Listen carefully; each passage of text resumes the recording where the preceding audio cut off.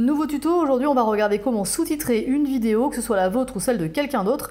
On va déjà commencer par la découper, si jamais c'est une vidéo qui est longue, qui n'est pas dans un format short, réel ou euh, vidéo TikTok par exemple si vous souhaitez un format court. Sinon vous pouvez sous-titrer bien évidemment une vidéo plus longue, il va respecter le format, il est également capable de détecter quand il y a par exemple une interview ou quand il y a notamment plusieurs interlocuteurs, savoir qui parle et donc de pouvoir vous couper ça.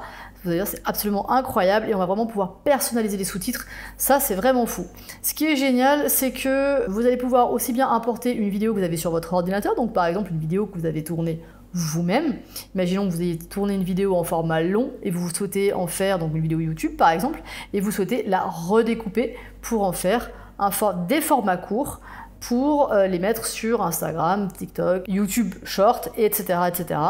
Mais vous pouvez également sous-titrer tout simplement votre vidéo longue. Maintenant, imaginons que vous souhaitiez faire justement des shorts ou des réels, bref, vous aurez compris, un format court à partir de vidéos qui ne vous appartiennent pas. C'est-à-dire des vidéos qui vont être stockées par exemple sur YouTube parce qu'elles sont dans votre thématique et que vous avez choisi de ne pas vous mettre en avant, mais de partager le contenu d'autres personnes, et eh bien sachez que c'est tout à fait possible. Et également, et on va regarder ensemble comment. Donc, donc, comme vous le voyez, vous avez la possibilité de mettre un lien ici, donc un lien YouTube par exemple, ou d'importer un fichier qui se trouve sur votre ordinateur. Ce que je vais faire dans un premier temps, c'est vous montrer comment il va vous découper et vous générer des sous-titres sans que vous n'ayez rien à faire, une simple vidéo. Là, je vais partir du principe que vous n'avez pas créé votre contenu, que c'est un contenu que vous allez prendre sur YouTube, admettons qu'il soit dans votre thématique, et eh bien... Euh, alors c'est là pour le coup, j'ai volontairement choisi quelqu'un qui n'est pas dans ma, dans ma thématique, qui n'est pas dans ma niche non plus. C'est pas non plus quelqu'un que je suis puisque c'est pas ma cible. Mais en tout cas, je sais que c'est quelqu'un qui tourne très très bien en ce moment et qui généralement a pas mal de choses à dire. Donc ça devrait nous générer quelques vidéos courtes et c'est le but que je recherche. Donc ici, ben, je vais tout simplement cliquer sur partager, je vais cliquer sur copier et je vais venir mettre le lien ici. Donc il va tourner un petit peu, il la détecte, et là je vais avoir la possibilité de lui faire faire des, le faire couper. Soit je lui laisse en automatique, c'est-à-dire que lui va détecter les sujets et va dire ok bah je coupe entre ce moment-là et ce moment-là parce que le sujet est intéressant. Mais si je veux un format spécifique, admettons que je veuille publier que des shorts, c'est-à-dire sur YouTube, sachant que le format maximum c'est 60 secondes, eh bien je vais lui demander de générer des vidéos qui sont entre 30 et 60 secondes. Si je veux des vidéos vraiment très très très très courtes, on va vraiment plutôt aller chercher des punchlines à moins de 30 secondes. Si je veux des vidéos un petit peu plus longues pour mettre par exemple sur Instagram, donc qui propose jusqu'à 90 secondes, en tout cas, au moment où je fais cette vidéo, hein, bien entendu. Euh, c'est toujours à temps de changer après. Je vais plutôt sélectionner ici entre 60 et 90 secondes. Et si je veux plutôt des vidéos TikTok, eh ben, je peux aller chercher 90 secondes à 3 minutes. Maintenant, lui, il va quand même redécouper. C'est pas parce que je lui demande euh, de faire des vidéos plus longues qu'il va forcément faire que des longues vidéos. Mais si je lui demande entre 90 secondes et 3 minutes, effectivement, il va pas me sortir des vidéos de 30 secondes. Moi, personnellement, j'aime bien le mettre en automatique parce que bah, ça lui laisse plus le champ libre pour aller chercher des contenus qu'il juge vraiment intéressants. Après, je peux lui demander de filtrer par euh, mots-clés, etc. Personnellement, j'utilise pas cette fonction, je préfère le laisser faire sa vie. Donc là, en gros, ben, je vais tout simplement lui dire d'aller générer les clips. Alors, petite euh, parenthèse avant de, avant de lancer. Vous pouvez le voir ici, vous pouvez sélectionner la langue, d'accord? Mais bon, là, c'est directement une vidéo en français. Et d'ailleurs, voilà, parce que effectivement, je pense que ce sera par la suite possible. Mais euh, il me semble que dans leur euh, projet futur, vous allez pouvoir prendre des vidéos, par exemple en anglais, et les faire traduire en français. Donc pour l'instant, ça marche avec l'anglais, c'est-à-dire qu'un anglais peut tout fait prendre une vidéo française et la traduire en anglais. Mais euh, bah, nous, c'est pas le cas, donc on va garder des vidéos françaises hein, si ça vous dérange pas. Donc là, j'ai pris cette vidéo. Maintenant, là, comme vous voyez, quand vous vous inscrivez, vous avez 7 jours gratuits et jusqu'à 1h30 de vidéo. Donc il y a de quoi faire, mais c'est vrai que quand vous vous inscrivez, ben, faites-en un maximum tant que, tant que vous avez l'accès gratuit. Mais franchement, après, même l'abonnement payant, il est pas cher du tout. Par rapport au temps que ça fait gagner, c'est impressionnant. Donc voilà, je vais générer ma vidéo. Et là, il va me dire le temps qu'il lui faut à peu près. Et ce qui est génial, c'est que là, je peux refermer la page. D'ailleurs, c'est ce qu'il va me dire. Hein. Il me dit temps estime à peu près 12 minutes. Et il me dit clairement que je peux refermer la page. Je recevrai un email pour me dire que ma vidéo est prête. Donc je ne suis pas obligée de rester sur la page pour, en attendant euh, que ma vidéo mes vidéos se créent. Voilà, donc ça, euh, je peux nettement faire ça. En attendant, je peux revenir si je le souhaite sur mon dashboard. Ça va me permettre de vous montrer une ou deux petites choses en plus, parce que pendant ce temps, il travaille quand même. Donc comme vous pouvez le voir, il est en cours. Ok, donc pendant qu'il fait ça, on va aller configurer nos sous-titres et il va nous mettre des templates pour votre marque. là, il y a différentes possibilités, comme vous pouvez le constater. Donc, vous allez pouvoir les sauvegarder, ce qui fait qu'il va directement utiliser ce que vous lui avez demandé dans vos vidéos. La première chose, c'est de mettre le nombre de lignes que vous souhaitez sur vos sous-titres. Là, il est sur trois lignes. On peut lui demander aussi de mettre uniquement sur une ligne. Personnellement, je préfère une ou deux lignes. J'aime pas trop quand c'est trop, euh, quand ça encombre trop l'écran, mais j'aime pas trop non plus les gros sous-titres, donc ça c'est à chacun. Il vous montre également les exemples, euh, si le sous-titre est en haut, au milieu ou en bas. Euh, vous pouvez le laisser en automatique, ça lui permet de se mettre, bah, de mettre le sous-titre là où ça lui semble plus judicieux, ou alors de définir que vous le souhaitez toujours au milieu, toujours en haut ou toujours en bas. Personnellement, j'aime bien le mettre en bas, donc c'est ce que je fais, mais ça c'est moi. C'est vraiment, euh, ne suivez pas ce que je fais moi et faites vraiment ce que vous voulez vous-même. Ensuite, vous allez pouvoir euh, choisir les hum, transitions. Alors vous pouvez ne pas en mettre, hein. voilà. Vous pouvez laisser vraiment quelque chose de, de tout à fait neutre, voilà, qui bouge pas et vous pouvez choisir d'avoir différents euh, modèles de transition. Donc voilà, comme là, il va mettre pas les mots en, il va faire grossir les mots et les mettre en couleur au fur et à mesure de la vidéo. Vous pouvez le mettre également avec euh, les majuscules et hop, euh, souligné, pardon. Vous pouvez le mettre vraiment d'un coup en pop voilà, en scale, bon, vous avez compris, hein, je ne vais pas vous faire un descriptif à chaque fois, ça se voit. Personnellement, je le laisse comme ça. Ensuite, vous allez pouvoir mettre votre logo. Si vous avez un logo, vous pouvez tout à fait vous dire, ok, eh ben, je mets mon logo et il va me l'insérer dans ma vidéo. Je vais prendre un logo détouré quand même, parce que sinon ça fait un peu con. Voilà, PNG. Alors, si vous ne savez pas comment détourer un logo, ben dites-le moi dans les commentaires, je vous expliquerai, je vous ferai un tuto, mais normalement ça je pense que tout le monde sait à peu près le faire. Voilà, donc là j'ai mon logo détouré, donc je vais le mettre en tout petit. Et moi j'aime bien mettre mon logo plutôt en bas des vidéos, mais là je vais le mettre vraiment en, en petit petit. Voilà. Bon, alors je vous montre comment le faire. Honnêtement, personnellement, je ne le fais pas. Tout simplement parce que si vous avez envie que votre vidéo devienne virale, euh, ça peut être un frein au partage. Donc euh, voilà, mais oui ou non. Après, personnellement, je trouve que ça encombre. On met déjà des emojis, donc je l'aime pas forcément, mais je vous montre que c'est possible. Personnellement, je. Merde, pardon. Euh, remove, voilà, je veux pas de logo. Ensuite, vous allez pouvoir choisir évidemment la police, donc vous avez tous les basiques. Moi, généralement, j'utilise le Montserrat Bold. Donc, quand je monte dans Premiere Pro, c'est la police que j'utilise. Donc, pour pas qu'il y ait de différence, je le mets comme ça également. Et ensuite, bah, vous avez la taille. Alors la taille, c'est vous qui définissez la taille que vous préférez. Euh, moi, j'aime bien quand c'est pas trop gros. Donc euh, voilà. 40, je trouve que c'est pas mal, ça se voit quand même, mais c'est pas énorme. Ensuite, ça c'est également le choix de mettre en majuscule ou en minuscule. Ça c'est vous qui voyez. Personnellement, généralement, je mets plutôt des minuscules. Voilà, je trouve ça plus joli, moins agressif, mais bon, après c'est un choix. Honnêtement, voilà. Vous pouvez également, bien entendu, le mettre en italique, le souligner. Je vois pas trop l'intérêt, mais c'est toujours possible. voilà. Et vous avez bien entendu le choix de la couleur du texte, de la couleur des bordures, et vous avez également la possibilité euh, de mettre de l'ombre et de modifier, euh, de modifier l'ombre. Voilà, bon c'est pas très très joli comme ça, donc voilà. Donc ensuite vous avez la couleur du texte au moment où ça parle, donc vous avez la possibilité de mettre deux couleurs. Moi je mets toujours ma couleur à moi de base. Donc 6 et 5, hein, c'est puisque je sais que c'est ma couleur. Voilà, donc j'ai le violet, je garde généralement le jaune parce que j'aime bien. Donc ensuite, je vais avoir à choisir le, comment dire, le rendu qui va me mettre là. C'est-à-dire que je, peux lui demander de le laisser en automatique et comme je vous dis tout à l'heure, il va me, il va détecter en fait s'il y a deux interlocuteurs et du coup, il va le couper directement ou mettre la personne qui parle au moment où elle parle. C'est-à-dire que si je fais euh, une interview ou s'il y a deux personnes qui parlent, eh bien il va passer, il va, il va mettre à l'écran la personne qui est en train de parler. Il va détecter d'où vient le son et donc il va mettre l'image qui correspond. Voilà, donc je peux lui demander de choisir automatiquement ce qui est le mieux, ce qui lui semble le mieux. Je peux ensuite choisir vraiment de lui dire je veux que ce soit comme ça ou comme ça ou coupé en deux. Euh, comme ça je veux les deux interlocuteurs s'il y en a deux, ou trois s'il y en a trois, ou quatre s'il y en a quatre. Donc ça, c'est euh, moi qui définis comme je veux. Voilà, et en bêta, on a pour l'instant du partage d'écran, donc à tester. Honnêtement, je ne l'ai pas encore testé, je le découvre avec vous, donc euh, voilà. Mais ils n'arrêtent pas de faire des améliorations, donc euh, forcément, au moment où vous allez regarder ce tuto, il y a des chances pour qu'il y ait des choses qui aient changé, ou en tout cas des choses qui aient été ajoutées. Donc désolé si ça n'y est pas, mais bon, après à vous de tester, bien entendu. Ensuite, vous avez la possibilité de lui demander de mettre une intro donc lui, il va détecter par rapport au sujet, il va mettre une intro au début. Bon, personnellement, je ne l'utilise jamais, mais sachez que c'est possible. Et ensuite, vous avez la possibilité de mettre des emojis ou pas.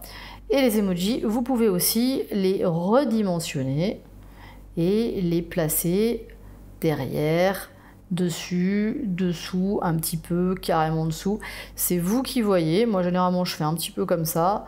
Mais euh, voilà, c'est à votre choix et je les mets pas trop gros non plus. Je trouve pas ça euh, très joli. Bon, surtout que moi j'ai diminué le texte, donc forcément. Euh, mais vous pouvez aussi tout laisser par défaut si vous voulez. Une fois que vous avez sélectionné votre template à vous, eh bien, vous allez pouvoir le sauvegarder.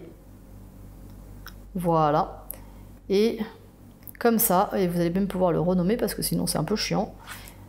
En, par exemple, my template. Et vous pouvez en faire plusieurs, d'accord Selon votre type de vidéo, par exemple. Moi, par exemple, sur mes vidéos, j'en ai pas 50 là-dedans, mais par contre, il y en a que je monte avec Premiere Pro et que je laisse avec Premiere Pro.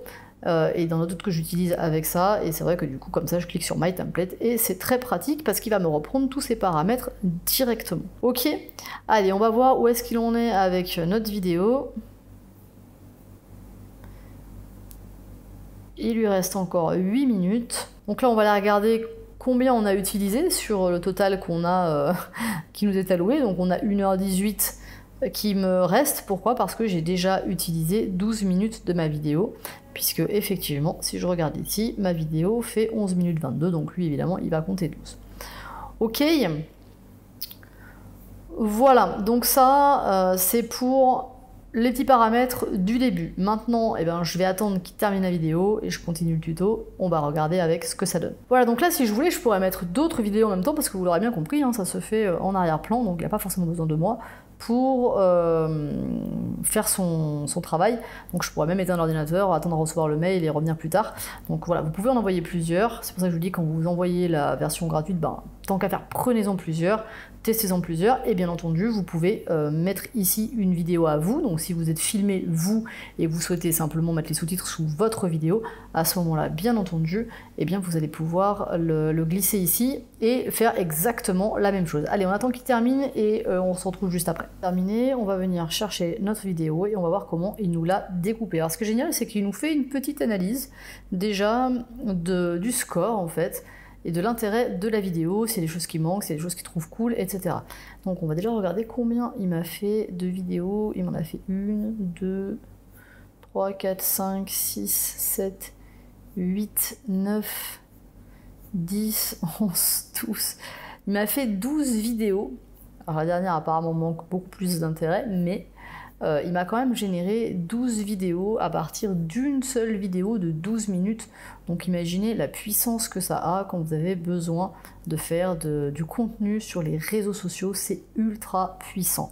Sur la première, il me donne un titre euh, et il me donne une petite analyse. La vidéo commence avec une accroche accrocheur, bon, accrocheuse, hein. lorsqu'un accroche, je vous dis, euh, si vous êtes, cela peut donner l'impression aux spectateurs qu'ils peuvent s'identifier. Bon bref, il nous fait une petite analyse. Donc ça, c'est plutôt cool. Euh, je peux avoir le rendu directement. Mais euh, là, je vais aller chercher à éditer. Et voici ma vidéo. Donc là, effectivement, je ne lui ai pas demandé de me la cropper, enfin de me changer le format, donc il me l'a laissé dans son format d'origine. Mais si j'ai envie de modifier ça, bah, je vais tout simplement venir ici dans Design, et je vais pouvoir remodifier. C'est ici aussi qu'on va venir lorsque l'on va vouloir sélectionner notre propre template quand il va nous faire une vidéo. Donc là par exemple, tac, je lui demande de prendre mon template déjà et je vais venir l'éditer parce qu'en fait je crois que j'ai oublié un truc, c'est ici en fait, c'est le texte. Ici, moi je vais remettre ma police à moi. Bon en même temps on s'en fout, je vais pas m'en servir, mais pour le principe et pour vous montrer, donc je l'ai réédité, je le re-sauvegarde, donc oui, tout est modifiable bien entendu. Et je vais revenir sur ma vidéo. Je vais lui redemander de prendre mon template. Bon là du coup comme je l'avais déjà édité, il ne l'a pas changé mais pour les prochaines, il sera. Ok. Voilà. Donc ça, après, c'est des choses que je paramètre. Hein. Vous pouvez mettre blanc, vous pouvez mettre ce que vous voulez. Hein. C'est vraiment, c'est vraiment vous qui voyez. D'ailleurs, je sais même pas si je vais pas le mettre en blanc, moi, par défaut. Bon, on s'en fout, là, c'est pour l'exemple. Mais effectivement, j'aurais pu aller chercher juste du blanc. Moi, j'aime bien ce qui est sobre. Tac. Euh, ok. Derrière ça, je vais pouvoir modifier également, du coup, le format. Puisque moi, du coup, je veux un format mince, comme ça. Ok, et une fois que ça c'est fait, eh ben, je vais revenir sur mon, euh, mon texte. Et là, alors là par contre, lui, il vraiment, il met euh, comme il a envie. Là, il n'y a pas de je cherche les mots-clés, machin, blablabla. Donc ça va vraiment falloir le faire à la main. Mais c'est rapide, on a une vidéo de 59 secondes, donc on peut le voir, c'est vraiment quelque chose. Le support, c'est quelque chose de futile, donc ça je peux le mettre en gras, et support aussi, puisque c'est ça qui pas en gras mais en couleur, pardon.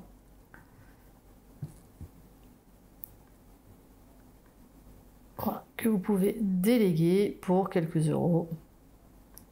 Je vais très bien mettre ça. en prenant simplement un support venant